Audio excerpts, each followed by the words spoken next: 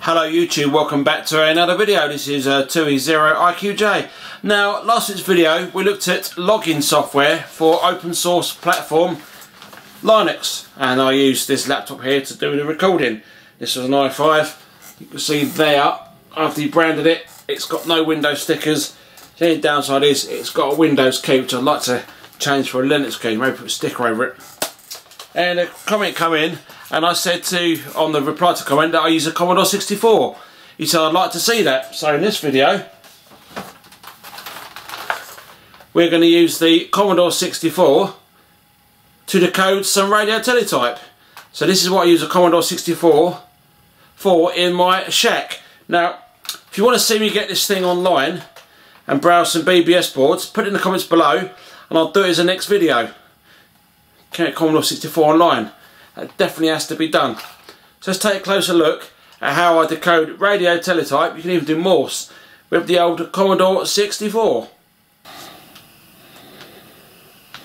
So this is a cartridge that we're using and it's an SWL cartridge from G&G Electronics of Maryland and at the top here you've got speaker stroke earphone you got two sockets for that so one's for speaker one's for earphone and one's from hand key narrow, 770 wide CW, wide 425 and it's 850. See there's a sticker. That uh, plugs into the cartridge port on the Commodore 64 and all the software is contained in here and literally we're just going to go plug an audio cable in there then the other end can go into the receiver.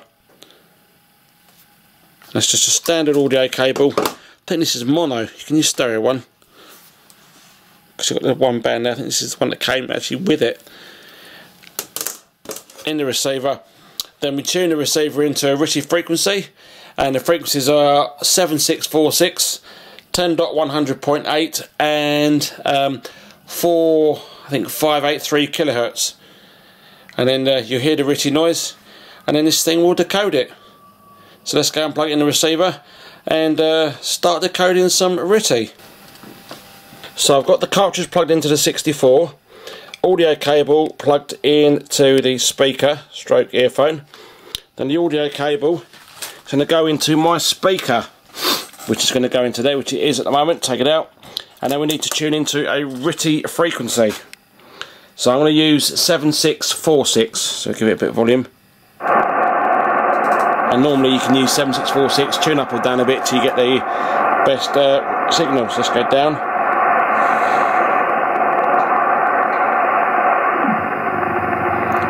Here coming through. That's what the RTTY signal sounds like. So that's going to go into the audio jack. There we go. You can see the Commodore 64, or hear it, it's trying to decode something. So let's stick him back on the tripod and try and get our first uh, messages in RTTY.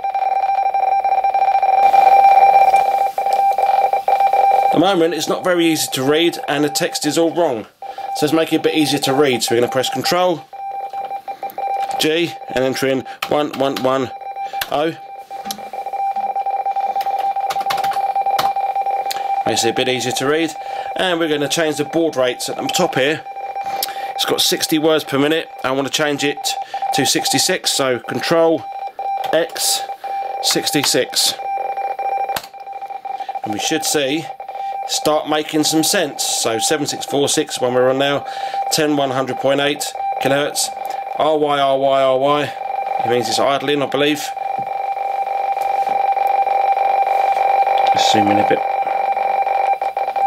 It's giving off its uh, frequencies, calling CQ, CQ, DE, DDK2, this is DDK2, DDH7 and DD9. It's going to give off its frequencies and eventually it's going to start giving off some uh, weather reports.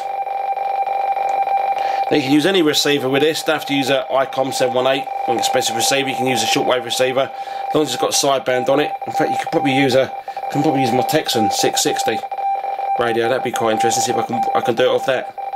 But yeah, any, any shortwave receiver that's got sideband, tap sideband, are capable of receiving the following frequencies, so 4583, 7646 and 10100.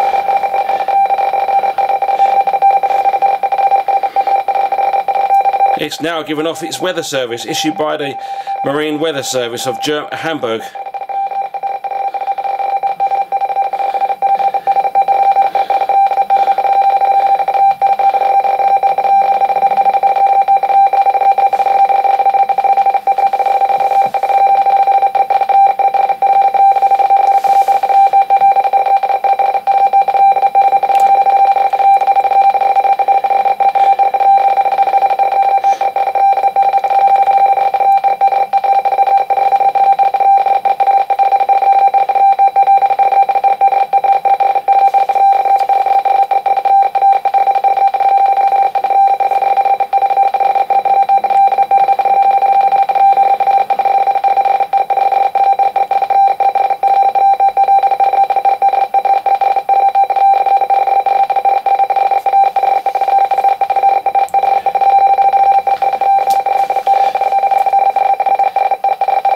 And Bay of Biscay in western part.